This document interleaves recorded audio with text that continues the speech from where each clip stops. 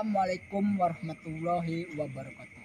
Selamat malam sahabat di mana pun anda berada. Pada kesempatan malam ini tim jejak wong bebas lagi mimpi di bawah pohon mangga pemirsa. Monggo mangga ini kalau berbuah waduh manisnya luar biasa. Tapi kalau daunnya pahit letek pemirsa. Untuk isu pemirsa tim jejak wong bebas akan berbincang-bincang dengan seorang yang konon katanya dia habis pesantren ataupun nggak tahu apa. Maka dari itu tim jejak bung bebas tertarik akan adanya informasi tersebut. Dengan langsung yang bersangkutan. Katanya kata warga tadi kalau lagi kerasukan waduh pemirsa. Dia kalau lihat orang tuh segini-gini maksudnya segini tuh apa tuh pemirsa ya? Tim jejak bung bebas akan mempertanyakan langsung sama yang bersangkutan pemirsa ikuti terus tapi sebelum itu tolong tekan tombol subscribe karena subscribe itu gratis pemirsa beli dipungut biaya beli. Pokoknya. Ya ikuti. Assalamualaikum. Waalaikumsalam. dengan bapak siapa? Dengan Bapak Rudi. kalau yang satunya pak. Siapa? Bapak siapa? Bapak Udin. Oh bapak Udin pemirsa gimana?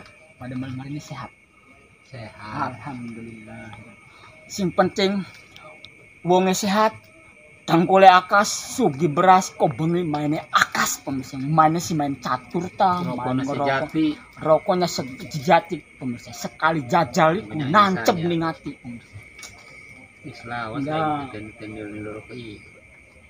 maksud kedatangan tim jejak bom bebas begini ingin menukar pengalaman dengan Bapak Rudi konon tadi saya habis berbincang-bincang dengan Bapak Rudi katanya sampean ataupun antum lah antum pemirsa. Habis mempelajari ataupun menuntut ilmu. Ilmu apa itu kalau boleh tahu? Ya ilmu kebatinan lah. ilmu kebatinan pemirsa ini yang sangat menarik. Ilmu kebatinan. Ilmu kebatinan itu banyak. Satu ada penjagaan ada Ya buat cewek ada buat dagangan ada buat penglaris. Salah satu apa? Itu saya gunakan untuk melihat makhluk yang aneh. Hmm, tapi selama habis mempelajari atau memperdalam ilmu tersebut bisa? Bisa. Hmm, seperti apa itu? Ya kalau seumpamanya saya niatkan untuk membuka ilmu itu ya bisa saya melihat makhluk-makhluk halus. Hmm, ada rapalan-rapalan tertentu itu. Ada. Gimana caranya itu? Yaitu rahasia. Oh, jadi rahasianya pemirsa. Tunggu langkah selanjutnya. Rahasia pemirsa. Tim jejak wong bebas itu tertarik akan adanya rahasia-rahasia pemirsa. Enggak. Tadi kedatangan tim jejak wong bebas itu ingin menanyakan sesuatu hal ataupun mempelajari tukar pengalaman. Ini satu contoh. Anda mempelajari suatu ilmu kebatinan itu dari daerah mana itu? dari daerah Banten. Banten pemirsa. Kalau Banten saya acungkan jempol gini-gini. Banten tuh gini. Semoga warga Banten selalu menyubscribe subscribe terus tim jejak wong bebas pemirsa. Waktu itu Anda berapa bulan? Udah lebih dari dua tahun di sana. Hmm, dua tahun pemirsa. Kalau saya bulan suci Ramadan aja kadang puasa kadang enggak enggak kuat. Baru itu dua tahun pemirsa. Bayangkan, masya Allah. Hmm, menarik nih pemirsa.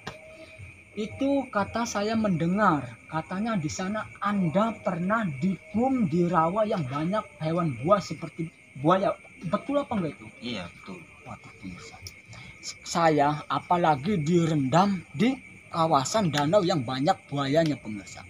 Yang banyak bebeknya aja saya takut. Kenapa kalau bebek itu gatel pemirsa. Kalau ini banyak buayanya pemirsa. Waduh bener-bener ini udah. Wah Masya Allah. Salut sama Bapak Rudi pemirsa. Nah atas petunjuk siapa Anda ke sana ke Banten ataupun ada yang pengantarnya? Ada Hmm, orang mana itu? Saudara, teman, saudara atau sama teman. Hmm, Itu waktu itu jalan kaki atau pakai apa itu? hmm, dianterin langsung travel. Hmm, pakai travel, Iya. travel pemirsa. Saya malam, saya ketahuan ini mukanya dia rai rai mobil pemirsa rai bensin lah ya bisa dikatakan rai bensin jadi begini inti kesimpulannya sewaktu anda rendam di danau yang banyak buaya buasnya binatang buasnya itu ada perasaan takut atau gimana kan banyak Iya. gimana itu pengalaman Tidak takut tidak apa-apa. Hmm, ada yang membimbing ada Ada. Oh, Bahkan ada yang menjaganya. Hmm, tapi biarpun ada yang menjaga, yang membimbing kan namanya binatang buas kan intinya pasti nyandar tuh. Nyandar kan kok, eh, nyandar kan ya. Hmm.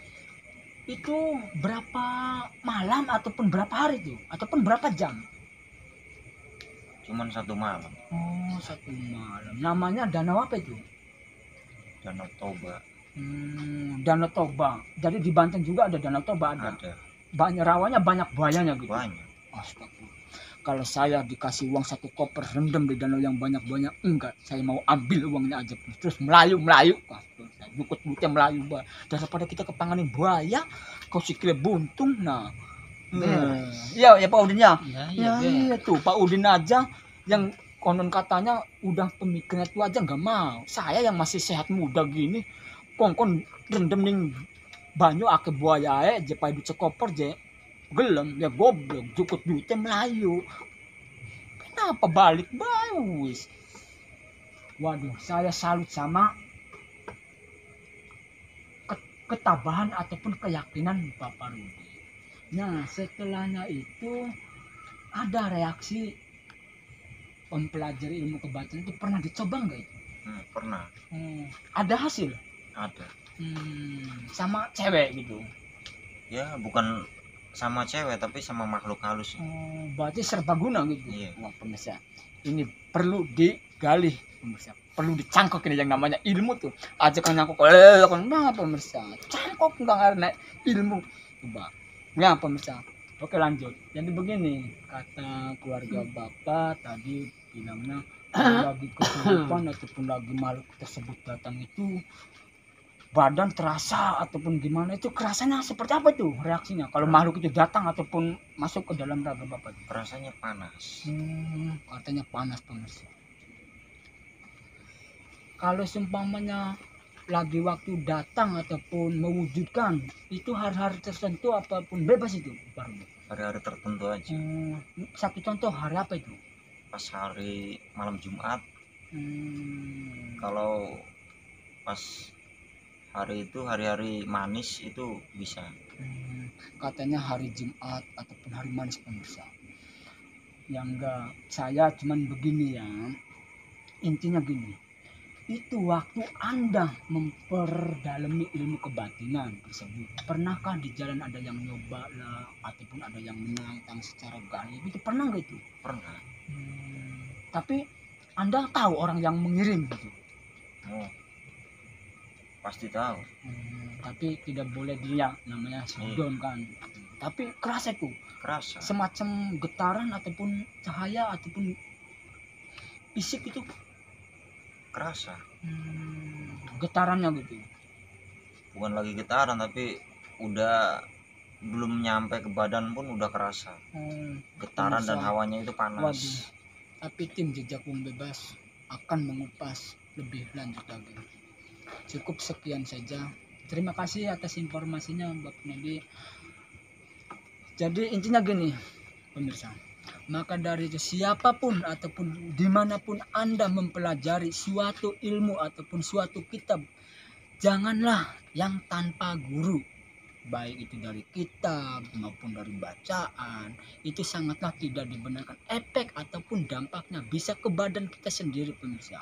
Maka dari itu tim jejak wong bebas hanya menyimpulkan atau memberi peringatan kalau mempelajari suatu ilmu atau mem- memperdalami apa pun itu harus ada yang penuntunnya. Nggak boleh sembarang asal misalnya kita beli buku buku batinan buku kekebalan tanpa guru. Jangan sekedar baca jangan sampai dimasukkan ataupun diamalkan. Efeknya bisa bahaya pemirsa cukup sekian saja wabillahi taufiq wal hidayah. Wassalamualaikum warahmatullahi wabarakatuh